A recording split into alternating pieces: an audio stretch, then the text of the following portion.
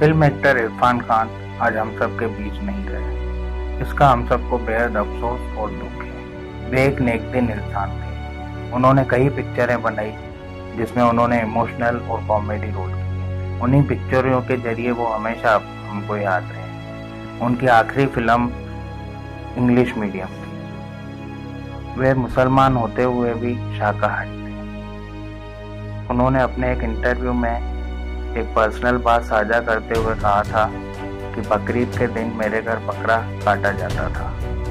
मैं इस हत्या का विरोध करता था। मांस खाना पसंद नहीं करता था। भला किसी को मारकर हम कैसे खाते? इसी पर मेरे पिताजी कहते थे कि हम मुसलमानों के घर ये ब्राह्मण कैसे पैदा हो ऐसे ही उनके जीवन की कई बातें थी जो हमें अक्सर याद आती रहें उनकी हर फ़िल्म में रियलिटी थी चाहे वो इमोशनल का रोल हो, चाहे कॉमेडी का। यूँ लगता ही नहीं था कि वो एक्टिंग कर रहे हैं। इरफान सर, आपको पूरा देश हमेशा याद करता रहेगा। आज आप हमारे बीच नहीं होते हुए भी आपकी यादें हमेशा हमारे साथ रही।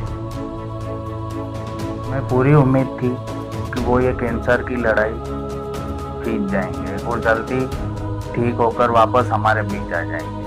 वे लंदन भी इलाज कराने गए और अभी इंडिया में चल रहा था उनका इलाज। और आज इंडिया में ही उनकी डेथ हुई। लेकिन शायद से ऊपर वाले को ये मंजूर नहीं था। उन्होंने अपनी आखिरी फ़िल्म इंग्लिश मीडियम बनाते समय बीच में एक बात कही थी कि वो ठीक नहीं है और शायद उन्हें यह पता चल गया था कि अब ज़्यादा दिन वो हमारे साथ नहीं है। लेकिन तब इतना किसी ने ध्यान नहीं दिया। फ़िल्म एक्टर इरफान खान आज हम सब के बीच नहीं रहे। इसका हम सबको बेहद अफसोस और दुख है। वे एक नेक दिन इंसान थे।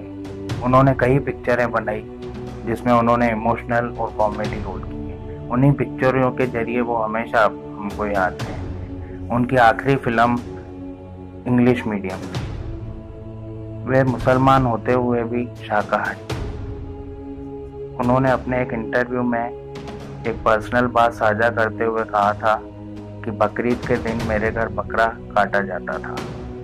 मैं इस हत्या का विरोध करता था। मांस खाना पसंद नहीं करता था।